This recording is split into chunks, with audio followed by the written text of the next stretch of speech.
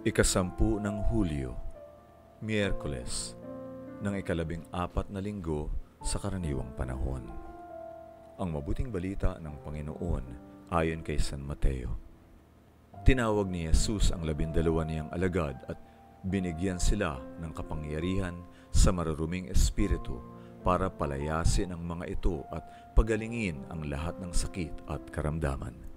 Ito ang mga pangalan ng labing dalawang apostol Una, si Simong tinatawag na Pedro at ang kanyang kapatid na si Andres, si Jaime na anak ni Zebedeo at ang kapatid nitong si Juan, sina Felipe at Bartolome, Tomas at Mateo na tagasingil ng buwis, si Jaimeng anak ni Alfeo at si Tadeo, si Simong Cananeo at si Judas Iscariote na magkakanulo sa kanya.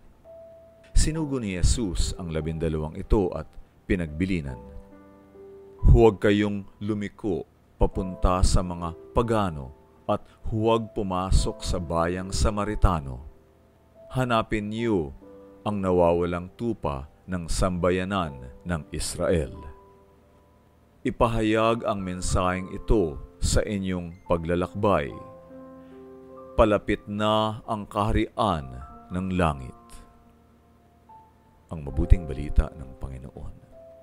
Pagsasadiwa, sinabi ni Jesus, ipahayag ang mensaheng ito sa inyong paglalakbay.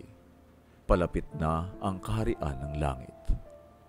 Ang pagpili ni Jesus sa labing dalawang apostol mula sa maraming tagasunod ay sadyang makahulugan.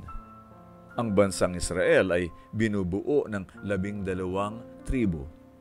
Ang mga tribong ito tinaguriang bayang pinili ng Diyos ay naging malaking kabiguan sa kanilang sarili at para sa Diyos.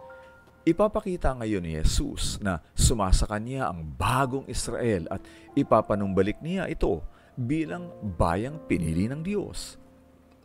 Ang unang hakbang na kanyang ginawa ay ang pagpili sa labindalawa. Binigyan niya sila ng kapangyarihan sa pagtuturo pagpapagaling ng may sakit at pagtataboy ng masasamang espiritu. Ipagkakatiwala niya sa kanila ang pamamahayag ng mabuting balita. Ang panahong ginugol nila kasama ni Jesus ay sapat na para sila ipadala sa mga nawawalang tupa ng sambahayan ng Israel.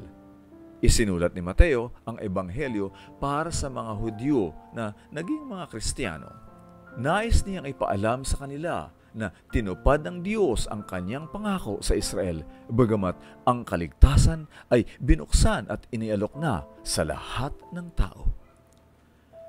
Pagsasagawa, hindi tinawag ni Jesus ang mga karapat-dapat, ngunit ginagawa niyang nararapat ang kanyang tinatawag.